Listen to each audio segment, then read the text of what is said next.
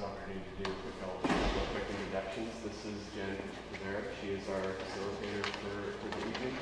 And uh, to my left, uh, in the green shirt, is Kim Brunt from Ministry of uh, Forest Lands and Natural Resource Operations. And to his right in the red shirt is Orlando Schmidt, who's the regional manager of Ministry of Agriculture.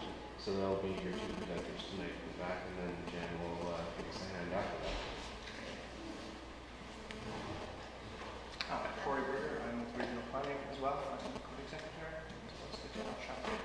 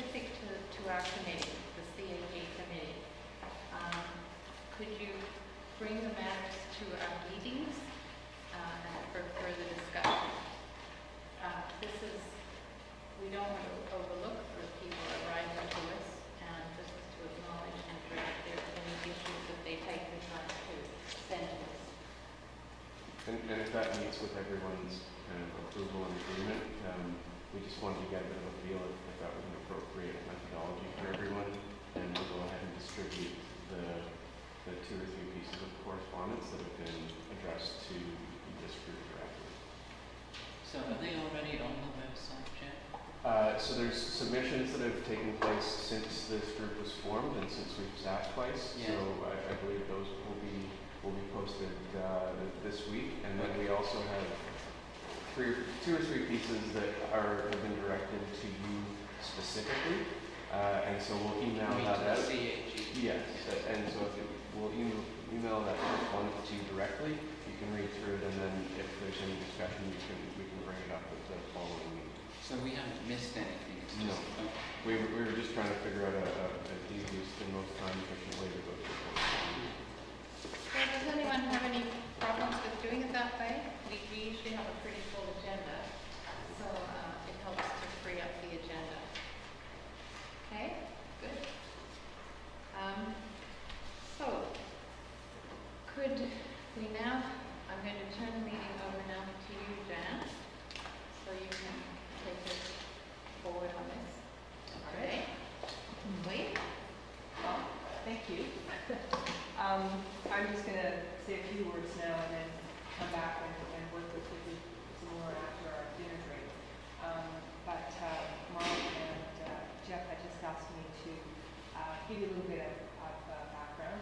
Um, I'm a, a longtime, uh, management consultant, uh, do a lot of facilitation work, a lot of consultation work. And so, um, wanted to first just acknowledge what I really it's a, it's a privilege to have a chance to work with an advisory like this. You guys have a particularly interesting uh, area that you are endeavoring to come to uh. And I guess just to clarify what the role of the facilitator is, because obviously staff here, you have a chair, uh, each of you. Um, my role is, is to make it easy. My job is to um, try to help the group increase your effectiveness by the process that we use. And I know that many of you around the table have had very limited experience in participating in initiatives like this. You have from different professional backgrounds. And so part of what we try to do is create a process where everybody has an opportunity for input, where we hear all of the voices, and where we move um, in, a, in a measured way towards a consensus. Because by definition, you are a highly heterogeneous group, uh, which is what is the objective huh, in, in bringing this group together. Um, so my whole role is around managing content or managing the method. It's not the content, right? Content is all about you. I'm concerned about how decisions are made and not what the decisions are. Okay? Um, we felt that it would be uh, useful to split the, the meeting today into two sections. So beginning with um, information, education, if you like, additional input from our expert presenters. And I think also just to acknowledge um, that the fact that this is a direct result of some requests on the part of the working group members to have some additional uh, information brought back. So we're really going to focus in the first part on having some additional information, having these uh, subject experts give us some uh, presentations, and then that will add to what I understand is already a fairly encyclopedic uh, body of, of information that you have been, been working. And then in the second part of the meeting, we're going to actually start to move toward looking at, um, seeing if we can get a little further on principles, if we can get further on some goals and objectives, and then moving into um, examining some evaluation criteria. So what we're looking at right now really in the group are foundational pieces, right? We're not coming to uh, explicit decisions. We're still in the information gathering stage. We're in the, we're in the formulating, we're in the forming stage. But we want to start to create a framework that is going to allow you to advance uh, through your decision.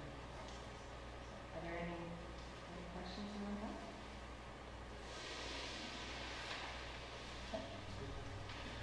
Uh, so without further ado, Kim, uh, would you like to take the stage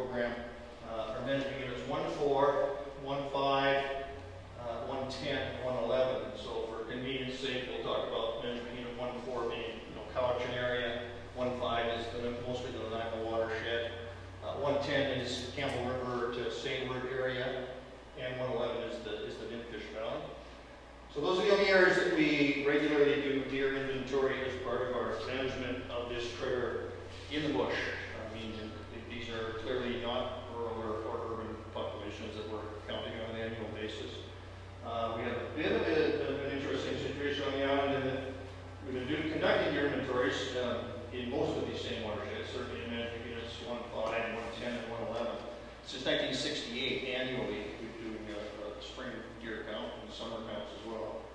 And it's, um, it's been, it's the longest running deer inventory data set in North America. So we got lots of information about deer inventory through the various ups and downs through the years from 1968 in those management units. Which all sounds good, and, and you know, getting back to the original question, I think you're having is, you know, we have a deer issue or we don't, we first thing obviously comes to mind is how many deer are there out there and inventory and what might or might not be done. Um, so, uh, you know, we, like I mentioned, we, found a deer for a lot of years. Um, since nineteen sixty-eight, this graph only goes back to nineteen seventy-six. Uh, just to kind of keep it in context, because we had some really high populations that would kind of throw the graph out of scale for a couple of those management units back in uh, nineteen sixty-eight. Uh, the provincial government kind of got more involved in the nineteen seventy-six as well, up until then it was mostly kind of an ongoing volunteer process by individuals who are just interested in finding new places to hunt and where there was lots of deer. So, like I mentioned, it's a, it's a very ongoing data set, it's, uh, you know, the, the, the numbers don't really matter, those are the four management units that I talked about where we count here. There's been various ups and downs, uh, you know, uh, wolves, uh, coastal wolves came to Vancouver Island and kind of bred out of existence the Vancouver Island wolf in the late seventies and early eighties, and that explained that large decline. There was a general, increase in deer numbers after that. Uh, Cougars really took off in the nineteen nineties, and then since they kind of leveled off at a, at a moderate level, around uh, two, two thousand. And since then, there's been, as you can see, a general kind of a increasing trend in, in deer numbers in the management units that we do our inventory. Just squashing that and, and taking away the, the, the earlier data, just starting at two thousand, just to kind of bring it, bring it into context in more recent years, I guess. Um, again, it just kind of illustrates that, yeah, out in the bush where we come here, there's been a, a general increase in population. That being said, there's, you know, wide variety between individual watersheds in, in any particular year, uh, with a number of, of explanations. It's often, uh, tied to predation levels or, you know, changes in habitat, not so much habitat issues, and more kind of long-term insidious kind of, uh, reflections of the population. But the short-term ones are, are usually, um, driven by, by predation issues, probably wolves moving into an area and bringing down population and then recovers. So there's various ups and downs. So that's a high of twelve per kilometer in, I'm sorry? that's a high of twelve per kilometer in two thousand and eight? I should have explained that, yeah, I mean, what do these, what do these numbers really mean? So, well, how do we come here in the bush? Well, we go out in the springtime, in April and May. Most deer, many deer are migratory on Vancouver Island, but even those that aren't, um, after going through the winter, they are actively seeking, you know, good forage opportunities in the spring, so they hang out in open areas. They, they really concentrate in clear cuts and such in the spring to access uh, forage to replenish their, their you know, nutrition lost during the winter. So they come to these areas and, you know, relatively predictably in April to spend more time in yield. So during April, May, we, we set up a measured transect, so then, the, again, we're out in the bush here and we're, we're, we're counting in logging slash so open habitats. Places that have been logged usually less than ten years ago, so you have good visibility in them. We go at night, we drive these transects and shine spotlights on the other side and count the deer. And come up with a deer per kilometer index to the, to the population. It's, it is indeed, um, uh, we do it in, so, so we do it once in April. We repeat those counts again in May.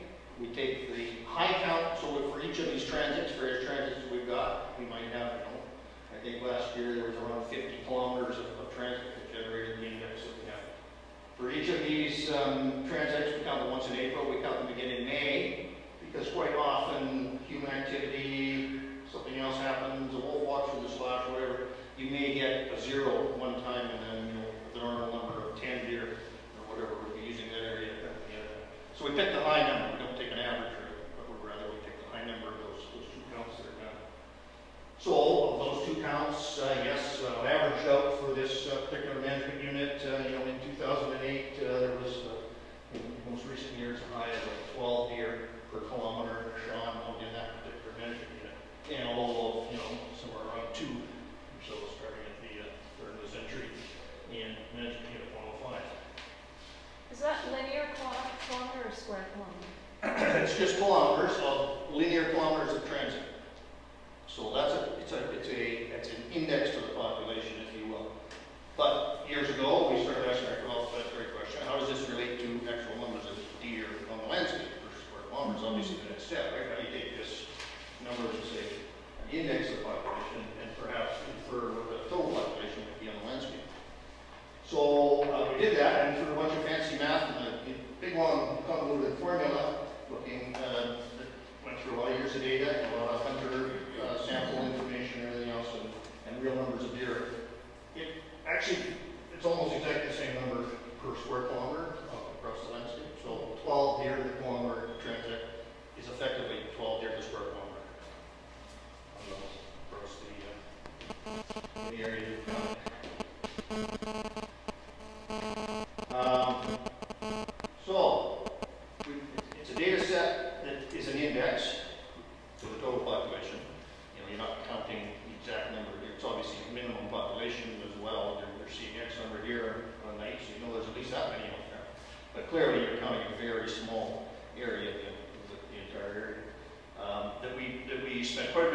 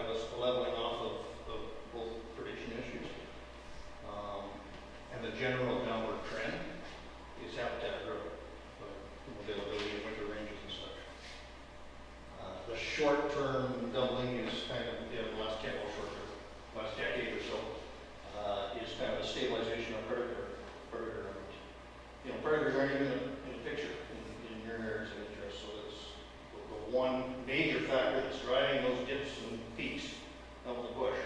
It's not even a clear, a clear. So they wouldn't have any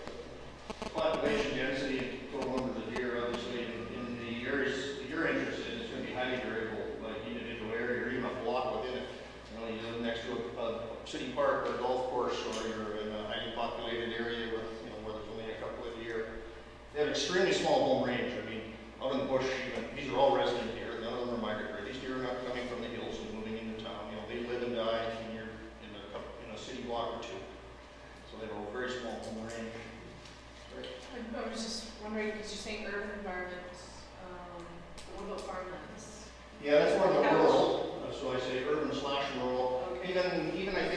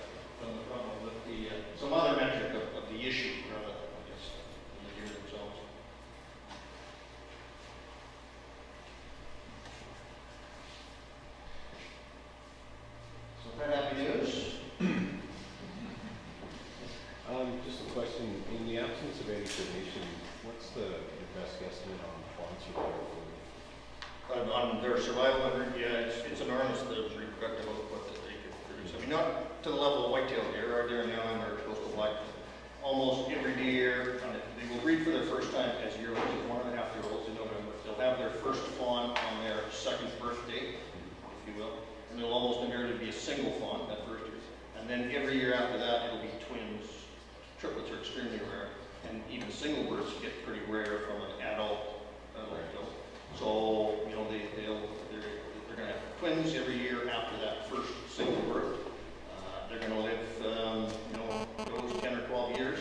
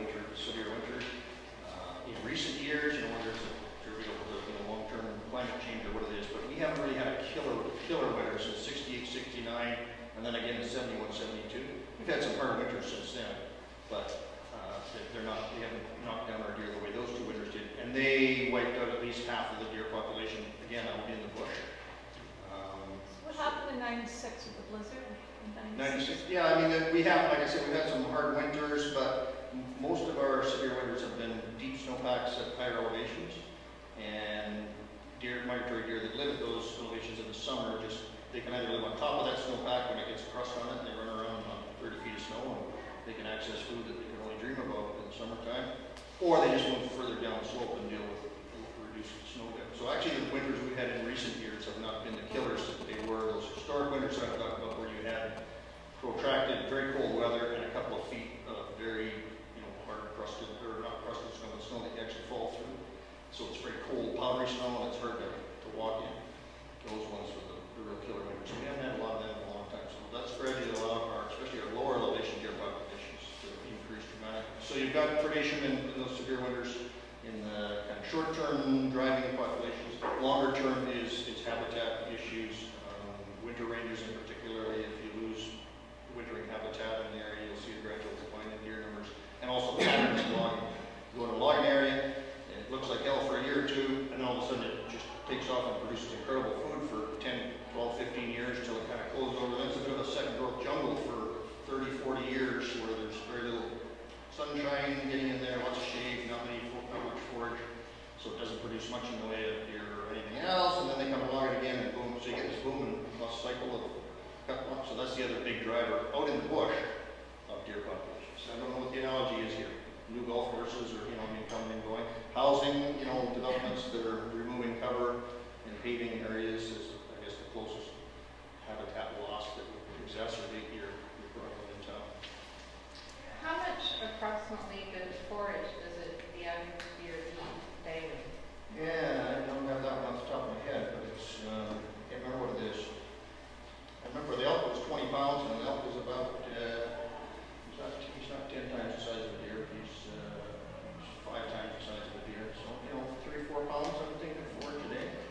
They're, they're ruminants, you like cows, so they, they got a relatively big stomach, you've ever seen a ruminant deer, it's enormous, deer. They process a lot of food, relatively low quality food, and then the rumen microbes break it down and they get all the, the nutrition they need out of that, so they regurgitate it through their gut just like a cow. So they eat relatively low nutrition food, but large volumes of it, just like any other ruminant. Um, Can you um, provide some detail about the deer kill permits? How does that process work? Sure. Um, Did you say 15 to 20 farmers have it? I would guess that off the top of my head right now. And that's in the CRD? Yes, well, Saanich Peninsula is, is here, here. And um, what, what do they have to show you to get a permit and how do you decide on the numbers Great. and what are the numbers? Sure.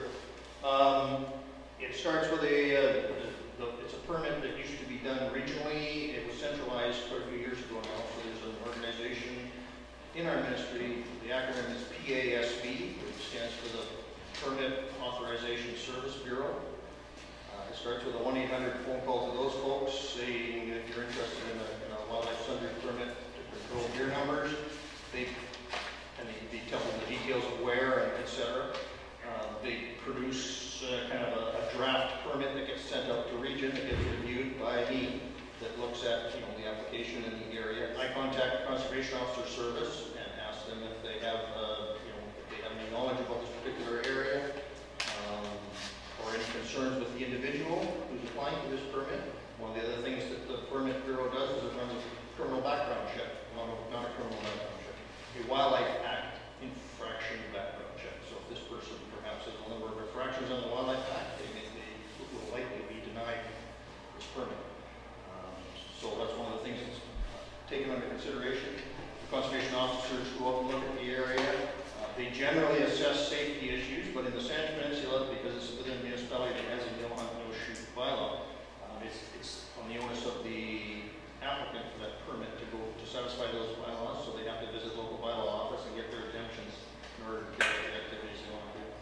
As far as numbers, um, it's, it's, we start, it's usually five is the number. If That's not a number that's carved in stone. If the person has an issue that goes beyond that and the demonstrated issue, we'll, we can consider up to ten, but I, I can tell you that like ninety percent or more of the permits, um, take less than the font, the number five. It's rare that anyone's ever actually come back and said five wasn't enough and some more. Because what we really like this permitting process to be is not so much a way to control deer populations on the Central Peninsula, but to deal with individual deer who get the habit of coming to a producer's place. The producer also has to kind of, has to show some kind of, you know, logical means of, of, at least putting their mind to addressing the problem some other way, whether it's fencing, you know, it's economical to fence that area, or other ways to uh, deter deer use. Electrical fencing is really quite inexpensive, actually, and we've got some specs on how to electrical fencing. But there are deer who will learn to get around that electrical fencing, or if you've got a very high value, highly attractive crop, strawberries as an example, they're gonna overcome that fence and uh, get in there one way or another. Also, quite often, you know, I'm entertaining a permit right now from a fellow who's just finished fencing his property. He's got three deer stuck inside that he's tried repeatedly to get out. And of course, they're inside his fence. Now that he's made the effort to fence off his property to keep the deer out, he's got some deer inside. That's another classic example I would think where a a kill permit would be entertained. Do you, do you see the, the kill permit as a, a tool for dealing with a some of these farming issues and agricultural issues that we have? I mean, is it something that, um, you know, if someone could show that they needed more than ten, that you I think, would... I think it'd be rare instances, but I think it, it, it could be entertained, and that would be an individual who would have to have fenced it. You know, I mean, if it's, to the point where he needs that many, he's attracting that many animals to the area, and there's that, and it's required to kill that many animals in order to deal with his, his problem, I think that's getting beyond the realm of what I, that we have been foreseeing these, these permits as being. It's more site-specific, couple of deer, problem, problem deer, if you will, that it just can't be dissuaded in any other way. And one final question. Um, you indicated that the reproductive output is huge, and I, I think you, you basically said that, I mean, I hate to use the word carp, but that's the word that's used, um, is ineffective because of that. No, Is I, that I said that it's, it, it's not a one-shot deal. It's either gonna have to be ongoing or pulse. Every. So it's a long-term solution. It's a, it would be an ongoing solution, It's certainly not a one-shot, unless you eliminate every single deer. It's not a one-shot deal, it would be a commitment beyond a single year, in my opinion. If you leave any deer behind, any year will soon become too many years. The fifteen to twenty permits, those are approved by you, by the province. Yeah, I'm, I'm not the decision maker, I make a recommendation to my boss. But how many of those then have gone through the PUC necessary? They all have. So Well- we don't give a permit to one. No, I don't ask for proof of that, we just tell them, I assume that they all, yeah, okay, I see what you're saying. Um, you know, we only see, I only see reports from folks who apply for a permit in subsequent years, so that tells me that they used the permit last year, the report may say zero, didn't kill any deer, but I want my permit again in case something happens. So I can give you a for sure answer, I would say that, yeah, it, it, it, there's some folks who did apply once, never hear from them again. I don't really know whether they went and, and did the other steps that you're mentioning, so I can't say for sure how many do. Certainly people who do it in repeated years have gone through that process.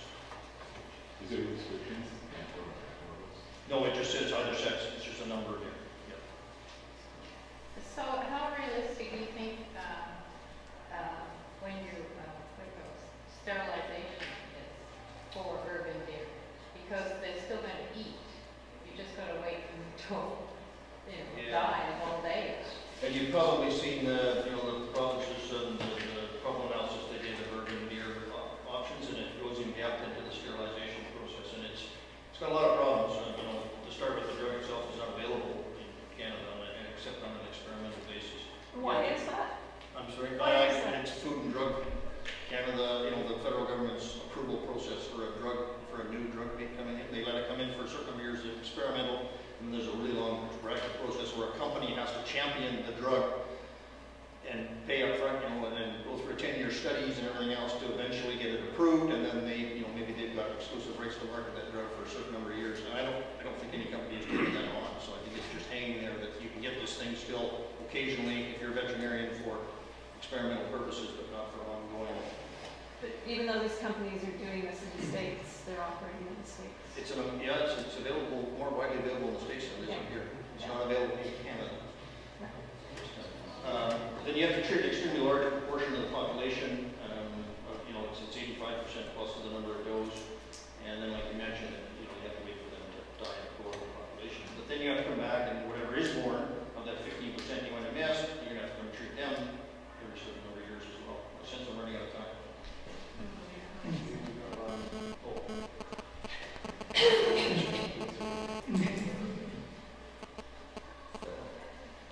Can, um, what are your observations on the differences between hunter and non-hunter populations? Um, well, they become habituated to people, like, they, um, that's what you, like, the, the fear factor kind of decreases. Um, I wouldn't say there's any difference in productivity or general biology, they just become nervier, I guess, and, you know, will walk right into your backyard and stare down your dog, and, and, and they'll become bolder in what they, in their, in their take. Now, you can, if you do hunt a population, also you can, them underground, they just become more nocturnal. So if they're not hunted, they become more brazen and especially during daylight hours. First thing they're gonna do is become nocturnal if you, if you hunt them more nocturnal. Hmm. Theory was on Val Geist, where he commented that they can become more cryptic, but also move away. Hmm. That's likely habitually where they have that pressure on. Yeah, I think that's a reasonable don't think it's gonna solve the problem significantly, but, but by that pressure. I think they will primarily go underground, if they still want to, their home range, they're tied to extremely strongly and they'll probably should become a little, a little more cryptic and nocturnal is the first reaction. Um, when you're guessing at the urban fawn survival rates higher in urban, urban areas, you're not factoring in things like, um, food supplies that are detrimental to fawn's health, but, but while they're in rehab centers, they see a lot of malnourished fawns that have to be put down because they're eating apples, a surplus of apples, or they're feeding grains that somebody has bought from the feed store and left out. And it affects, it's almost like fast food, or it's, it's, um, it's, um, detrimental to their health and their development. So you're not factoring in things like that. No, and actually, you know, I, also, I also, I, I even see quite commonly, um, in, in Nanaimo and the deer that I, that we, that we have in town there. Um, if anything, there's more deer that are making it through the winter that normally wouldn't, that you see quite often getting in trouble in, you know, February, March, or the very late winter. You'll see fawns that weigh like seven pounds or something in the bush, there's no way that deer would have even made it through December, you know, so. I understand what you're saying, but I think actually, I've seen indications that, that the, that the survival and the foods that most people provide to them, especially those are actually enhancing populations and not decreasing them.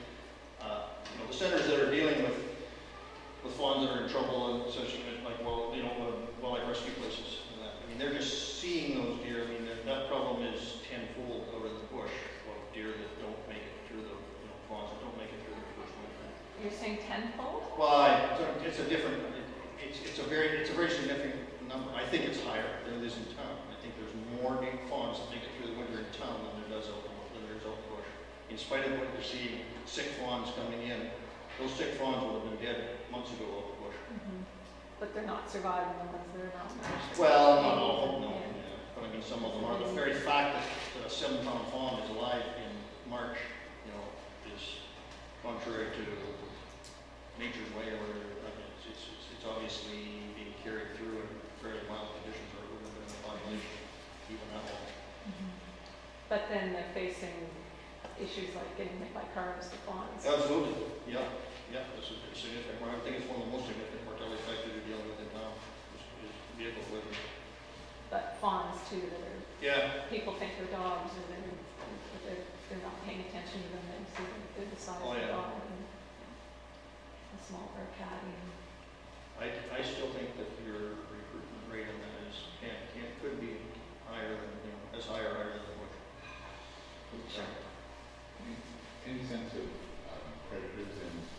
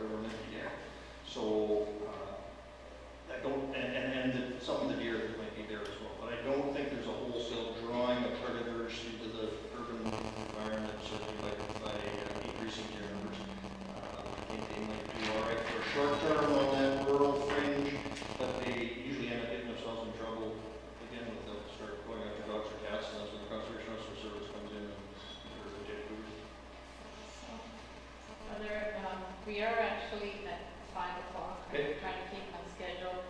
Um, No further questions? Just one, have you had any experience with dairy pellets?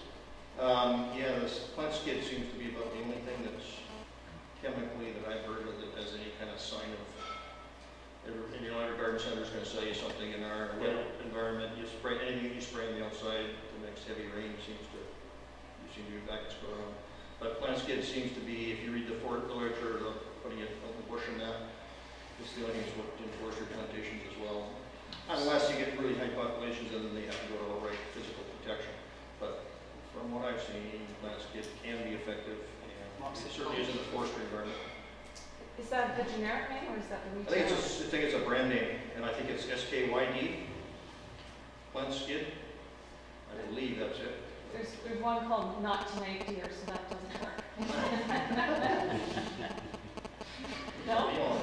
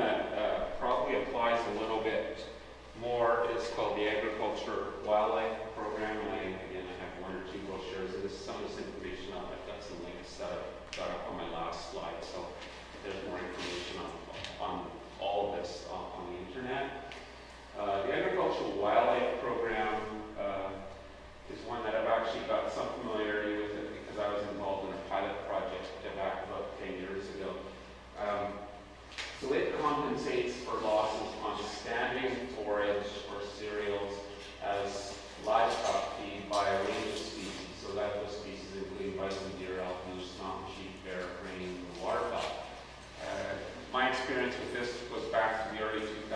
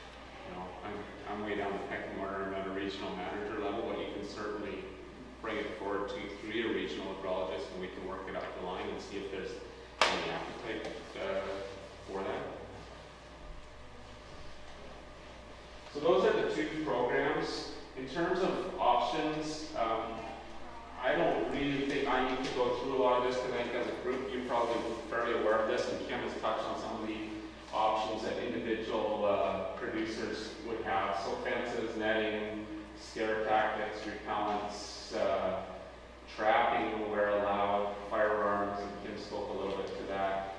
Uh, poisoning, I, I actually I don't see that for deer uh, in, in, in the slide. Rabbits, rabbits, uh, for rodents, habitat modification, cultural management. Funny thing is, this morning I, as I was leaving, I, I live in Abbotsford, so I have to travel over here today. I was, I was having breakfast with my kids. I have a 12-year-old and then a Korean homestay child who's also 12, and I asked, him, told them what I was speaking on today, and I said, so what do you think? What, what, should, what should I tell them? And so my 12-year-old son said, we should catch them all, put them on a boat, and ship them to Africa because the people there would like it. So I don't know how if they would actually appreciate them. they were but uh, that was uh, interesting. The other fellow, actually, the other Korean fellow, he thought that it would be a good idea to. Um, it was sort of a modified sort of fencing and uh, planting what, what I would call sort of uh, um, what do we call it? Uh, crops, uh, crops in other areas that would be for the deer. So plant uh, crops, lure crops that where the deer would come to somewhere else and then they'd stay out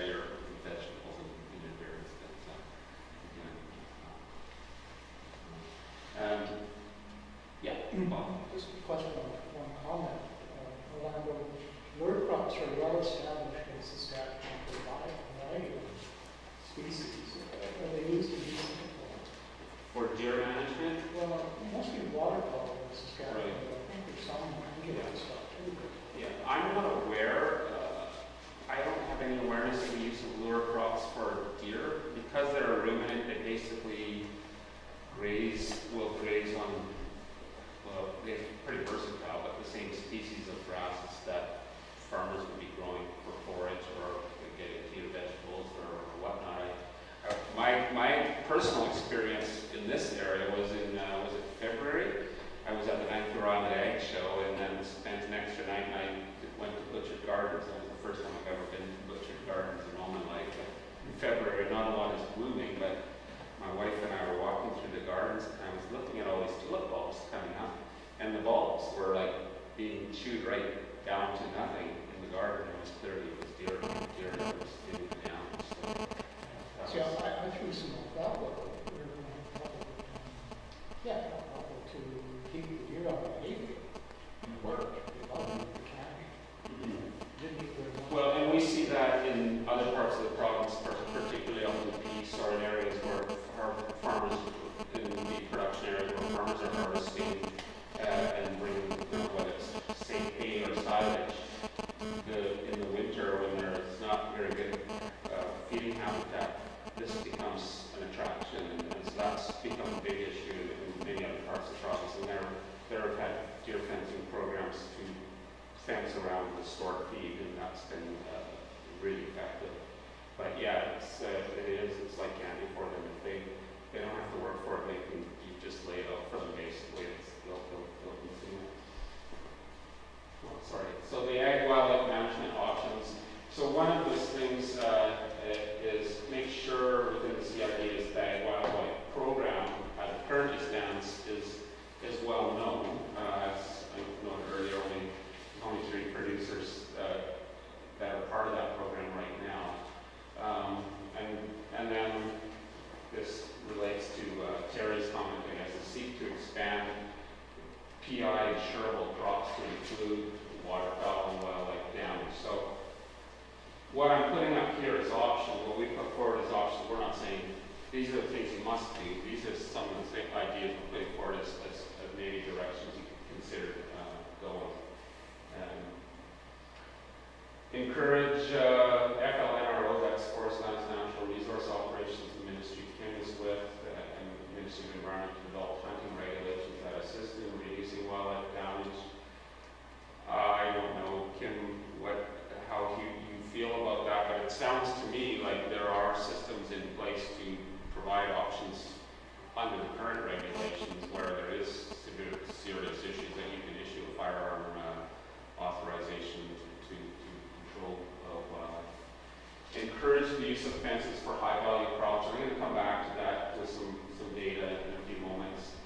And, and the other thing is, um, again, it's an option, establishing an ongoing regional ag wildlife committee under the provincial ag zone wildlife program. Now, I don't know if this is, uh, how much interest that is to this group. This is a citizens advi- advisory group uh, within the CRD, but there is a, uh, a provincial ag zone wildlife program was established a, few years ago, and under their uh, terms of reference, it had created the option to establish regional wildlife committees to do some of the things that are on this list. So deal with wildlife damage prevention, mitigation, and compensation on private ag land, including policy, legislation, all these bureaucratic terms.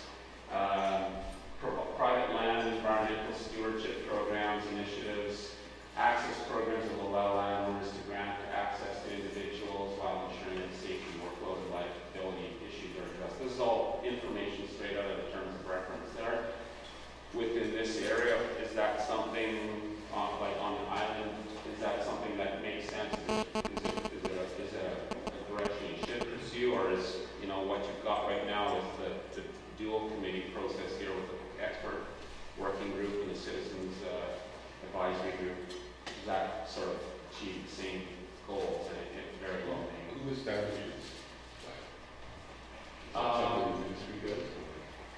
It's a, it's a cross-ministry initiative, as I understand it. And Kieran, if you have a better knowledge of this, you feel free to jump in, because this, this, this whole provincial piece is, is fairly new, uh, uh, information to me. Are you familiar with how that works? 'Cause Yeah, it, it kind of started as a, uh, really focused on the Kootenay Trench and the northeast where, uh, you know, there's really significant wildlife interactions.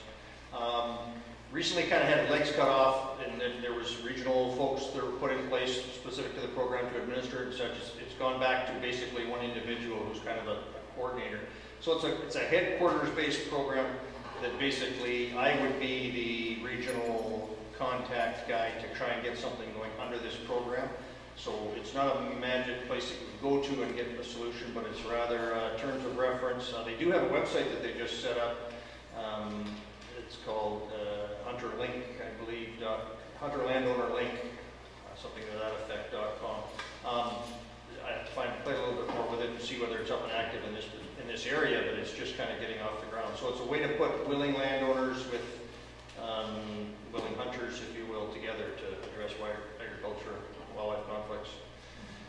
It seems to me that, from what I've gathered, you know, I'm not totally familiar with everything this, this committee, this, the Citizens Act Advisory Group and the, the expert working group are doing, but it sounds like you have very a lot of common objectives and perhaps the- what's been set up here, you know, will be just as effective, at least in the short term. Maybe this is more of something to look at in the longer term. I, I, I And, excuse me, are you talking about that as, as more of an educational capacity, or what, what exactly are you talking about as the role of this committee? Well, the way I see it is education would be a part of it, uh, some uh, possibly strategic planning, so, uh, you know, looking at, looking at problem solving and, and, and developing strategies, and then, you know, if funding is required, hopefully, you know, building the momentum and, and having the right connections to try to needed. So, which sounds to me would be similar to what this group is, is already doing. This is, this is maybe just a little bit more localized, whereas these regional committees, I think, have a, a broader, uh, regional, uh, focus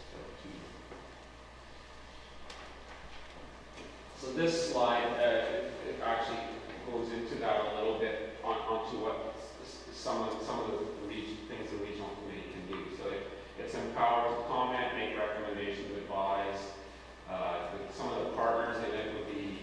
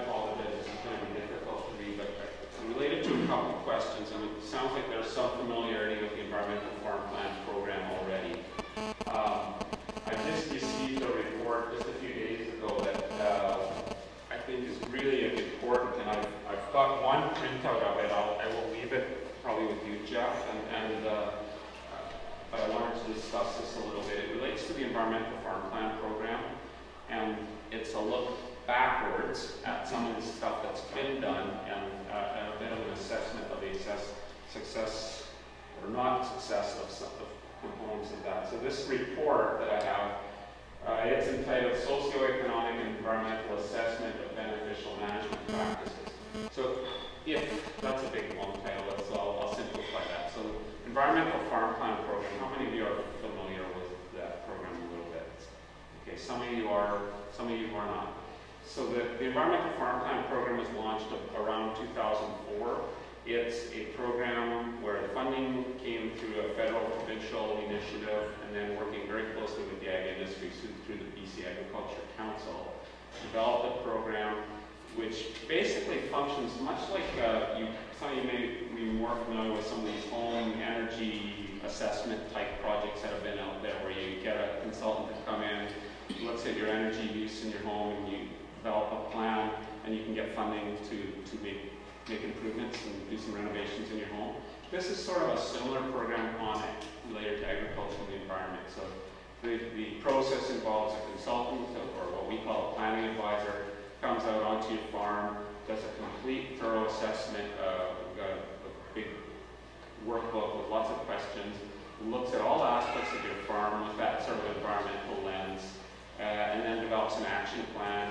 And with the program, the, the carrot in the whole process was that there was funding available to help producers make decisions to improve their practices in certain areas. And those, those funding programs were specifically tied to what we call beneficial management practices. So that's a very technical term that means essentially that there's money associated with it.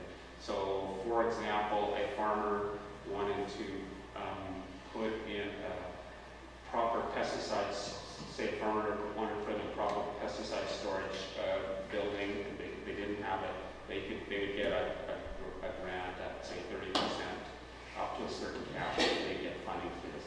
Well, one of the BMPs that was funded in the early part of this program was uh, a BMP called Wildlife Damage Prevention, and it was basically for fencing.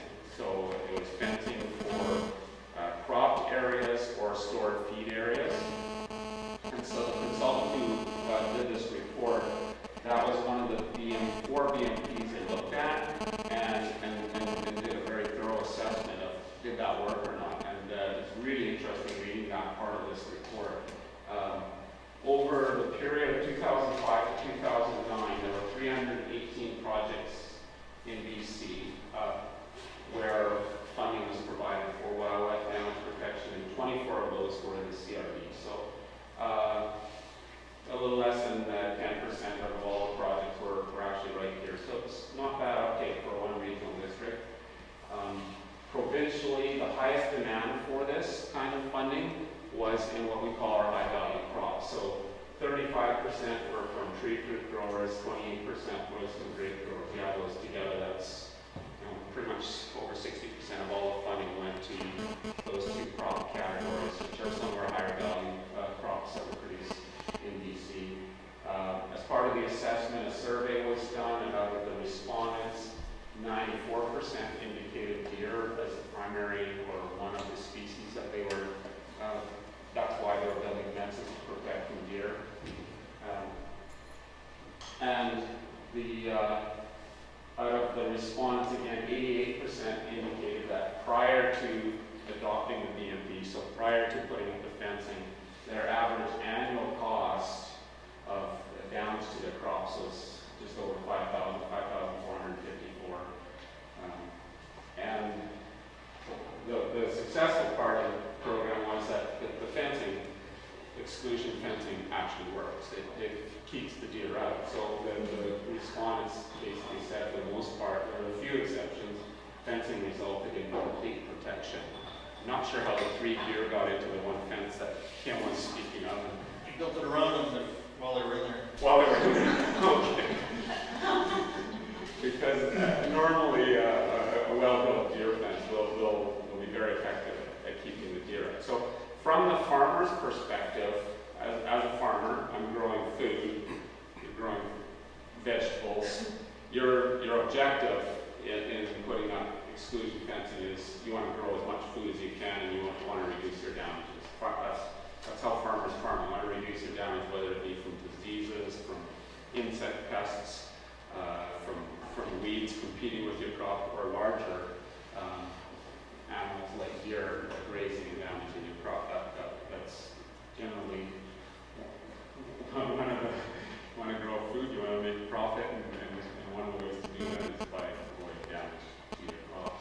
So that the, the economic driver was a, real strong driver, and that's why most of the people that applied for this funding applied for it. Now, the, the, on the risk side of it, one of the risks that was identified in this report, and it makes sense, if, if uh, uh,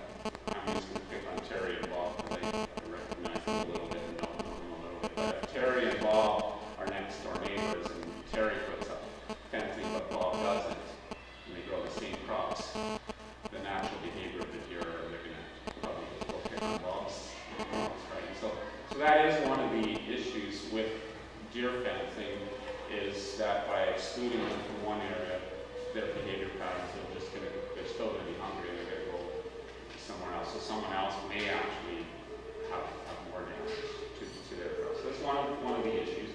The funding for this actually was um, capped and, and was, uh, this funding category was, was not funded after, I believe, 2009 or 2010. So that's been one of the issues with that program, uh, the Environmental Farm Plan program. Each year, the funding categories are reviewed, and they've been trying to target uh, new areas because from an environmental benefit perspective, there's been feeling that this one's been highly utilized and, and that now there's other areas that are, they want to put more attention on that may actually have greater environmental benefit. So this funding category was stopped. And then the other thing is the whole environmental farm plan program and funding for it is winding down this current fiscal year. We're in negotiations right now with the feds for a new agreement, but we have no idea what that new agreement is going to be like at this point. That's um, what I have as far as information for you. I don't know how we're doing for time. I know we're at five thirty, but so it's up to you guys if you want to take more questions. Dinner's not here yet, so. Aaron? Yeah. Was there a dollar amount cap per, say, acreage, or was it based on a percentage, or how did that work? Yeah, generally, um, the funding for, for all, uh, programs, it was a cap usually at a percentage, so thirty percent or fifty percent, and then up to a certain amount. I believe with deer fencing, it was thirty percent up to ten thousand dollars. Yeah. Cost share at thirty percent of total allowable costs up to ten thousand dollars. So, uh, so ten thousand is a contribution to the farmer. And different, different funding categories have different caps and different cost shares. So they generally thirty or fifty percent. So it was depending on if it was a high value food source or if it was a a hay field, it was, the funding was varied? The cap was general for, for everyone. So the ten thousand dollar cap was applied broadly. And it, it wasn't based on size of the operation. No, I am not aware that there was any limits based on the size of the operation. Obviously, ten thousand dollars will only go so far. So if you have a large size operation and you want to fence the whole thing, you're- going to be putting out a lot more money. So, it's, uh, so your, your cost share is going to be much smaller. So, yeah. If you're using past tense, this program doesn't exist anymore? The environmental farm plan program is still operational. Uh, the reality of it actually though is for 2012-13, it's already been fully subscribed. It's, and I believe that's because it is the last year. Um, between the planning advisors and the farmers, I think they, they tuned into that and uh, this year the applications came in real fast. They actually opened the application window January 1st. Uh, although funding wouldn't be available until April 1st, they, they opened the door to applications January 1st this point, it's fully allocated, so unless, you know, between the federal and province, someone comes up with another million bucks or something and says, we're gonna cap it up, and that has happened in the past, that, that, you know, decisions get made to throw some more money at it, especially if it's being fully utilized like this, but at this point, it's fully allocated. Um, was this program just specifically for for-profit farms, or could people like the community gardens, uh, people take advantage of the funding for it as well? The first, it was for, it had to be a fully fledged, uh, farming operation. Yeah, it was, it was not applicable to, uh, um, like a community garden. I hate to put you on the spot, but That's okay, I'm fine with that, a press release came across my desk literally this afternoon. which I haven't seen yet, so it pretty, so- it's, But it's, um, I'll just read the the first part of it then. So, the BC Agriculture Council and the Investment Agriculture Foundation of BC today announced the launch of a new cooperative model for funding projects that will assist BC farmers in addressing environment and environmental challenges. So It's brand new, the lead is yesterday. Are you aware of this at all? No. So it's, uh, I'm, I'm very curious about it. Uh, I mean, that's, uh, Dude, I, you might want to take a quick skim of it, Okay,